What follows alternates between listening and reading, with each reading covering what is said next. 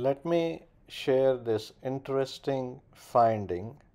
As soon as the endoscope passed behind the cricopharynx, we noted this esophageal web, otherwise known as postcricoid esophageal membranous web. This patient has been having difficulty swallowing tablets as they tend to get stuck in the upper esophagus.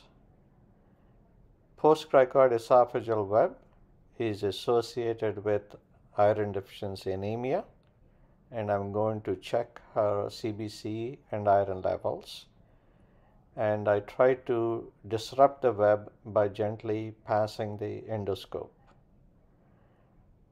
you can see I'm trying to negotiate my scope down to disrupt the web.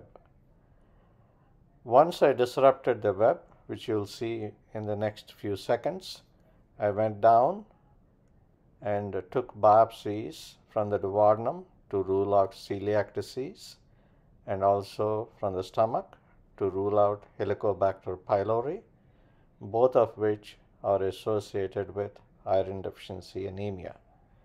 Here is the disrupted postcricoid esophageal web.